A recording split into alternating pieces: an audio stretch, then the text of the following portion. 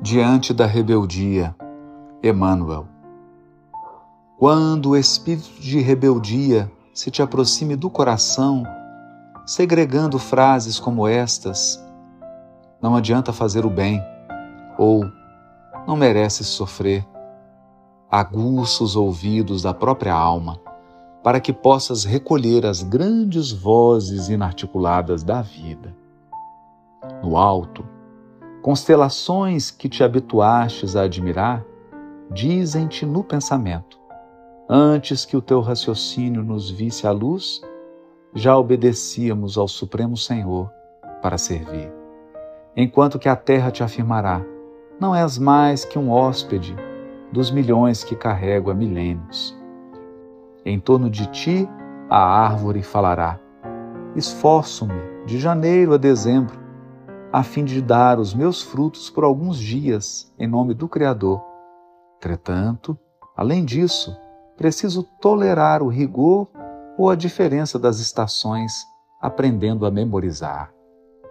E o animal te confessará: Vivo debaixo de teu arbítrio e fazes de mim o que desejas, por séculos e séculos, porque devo sofrer-te as ordens, sejam quais sejam, para que eu possa um dia sentir como sentes e pensar como pensas. Medita na tolerância maternal da natureza, que transforma o carvão em diamante, através de décadas e décadas de silêncio, e traça caminho na pedra usando a persistência da gota d'água. Contempla a peça de ácido polido e reflete em que ela jamais seria o que é, sem os golpes do fogo que lhe ajustaram os elementos. E quando sacies a própria fome, dedica um instante de reconhecimento ao pão que te serves, recordando que nunca lhe terias a bênção se a humildade não lhe caracterizasse a tarefa. Não interpretes a disciplina por tirania e nem acuses a obediência de escravidão. Trabalha e serve com alegria. Oferece à paz de todos concurso que a harmonia te pede. Rebeldia é orgulho impondo cegueira ao coração.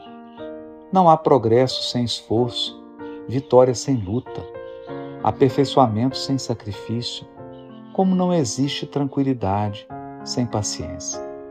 Reflete na infinita bondade que preside o universo, a cercar-nos de amor em todas as direções, e reconheceremos que se transformações dolorosas no campo da existência muita vez nos transfiguram em crisálidas agoniadas de aflição, ao impacto das provações necessárias, a dor é o instrumento invisível de que Deus se utiliza para converter-nos a pouco e pouco em falenas de luz.